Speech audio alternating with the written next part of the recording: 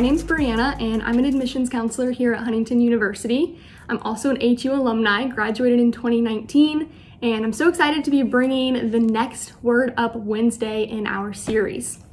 So today we're going to keep talking about community and the power of relationships. So I don't know about you guys, but being human, I kind of like being in power sometimes, and I'll definitely admit that I like to be in control. But unfortunately, power and control are actually two things that are really harmful to our relationships. And so if you don't listen to anything else in this video, if you stop it after 30 seconds in, I want you to have this question to think about today. In a world that pushes people out of the way to get what's best for themselves, how can we instead develop relationships that are built on empathy, unity, and service? So I hope that you keep watching. Let's go ahead and dive into our passage. Today we're going to be looking at Matthew 20, verses 20 through 28. Then the mother of Zebedee's sons, which is James and John, approached Jesus with her sons. She knelt down to ask him for something. What do you want? he asked her.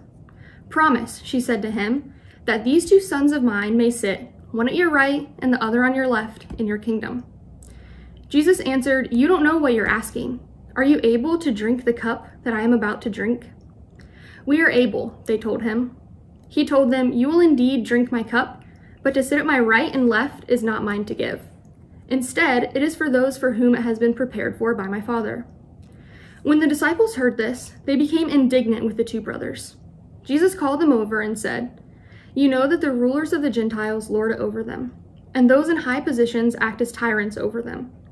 It must not be like that among you. On the contrary, whoever wants to become great among you must be your servant, and whoever wants to be first among you must be your slave just as the Son of Man did not come to be served, but to serve, and to give his life as a ransom for many. So, in this passage, we see James and John kind of asking for their piece of power. And in fact, it's actually their mom that approaches Jesus on their behalf and asks that they are able to sit at Jesus' right and left hand. Now, this is a really big question, right? This is a really big thing to ask for. In fact, Jesus answers them and says, You don't know what you're asking. And these great seats in the kingdom come with a really high price tag. They're going to have to drink from the same cup as Jesus. And even then, Jesus says it's not guaranteed that they get these great seats, and that, in fact, it's up to the Father to give those seats out, not Him. Now, when I was reading through this, I kind of thought about being a kid and calling shotgun so that you got the front seat in the van right? So I grew up with five siblings, so it always was a race to be the first one to call shotgun as we were all loading up so that you could get that best seat in the van. Now that front seat, right, it was a seat of power. And so when I was growing up, we had like the CDs and so you would flip through the CD case and you could be the one that picked out the CD and you got to put it in the radio player and the front seat, you got to spread your legs out, right? You had leg room, your knees weren't crammed into the seat in front of you. Your head didn't hit the roof of the van every time you went over a bump. The front seat is a seat you wanted to be in, right? You wanted to call shotgun so that you could have the best seat in the van. But what Jesus tells us here is that you don't just get to have the best seat, right? Instead, you have to be able to drink from the same cup. Now, when I think about our relationships, when I think about drinking from the same cup as someone, I think about living life with them in such a way that you're experiencing exactly what they're experiencing as though you were experiencing it yourself. You're taking their joy, you're taking their pain, you're taking their moments of waiting, their moments of celebration, and all of that, you're experiencing it alongside them as if you were experiencing it yourself. And I think it's this type of empathy that is really useful for our relationships. As I was going over this passage, I also noticed the importance of unity.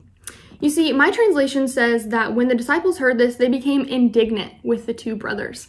Basically, meaning that they were angry and annoyed that James and John had asked for these two seats. And again, it reminds me of being a kid when we would call shotgun. Our siblings definitely were indignant. They were angry and annoyed that we got the best seat and they were crammed back in the third row of the van. But instead of letting this anger and annoyance fester, Jesus calls the disciples together. And it makes sense to me why it's so important for them to be unified, right? They have a big purpose to spread the gospel. And we also, in our relationships, in our communities, we have a great purpose.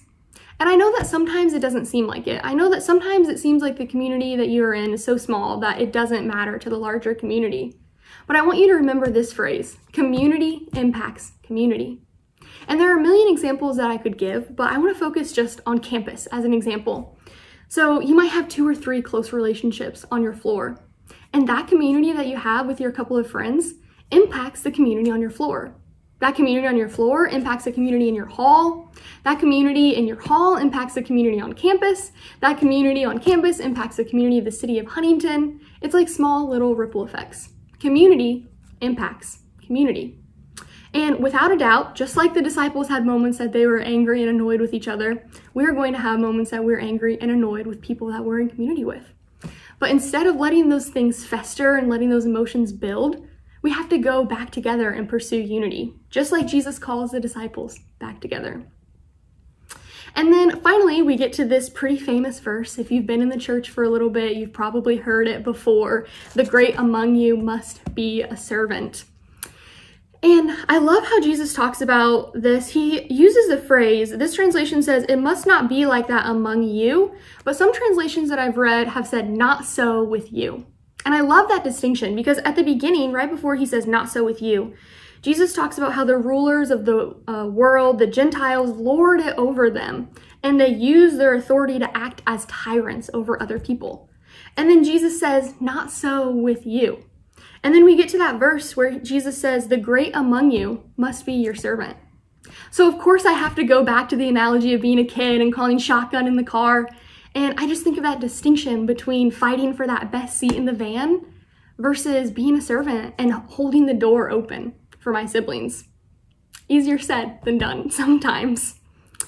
So, if you want to be great, if you want to have great power in your relationships, Look for ways to start serving people that you're in relationship with. Jesus takes this world that we live in, this Gentiles and how they use the power to lord over people, and he flips that upside down. And he says, Not so with you. If you want to use your relational power well, use it to serve other people. So, again, here's the question that I have for you. In a world that pushes people out of the way to get what's best for them, how do we instead develop relationships that are built on empathy, unity, and service?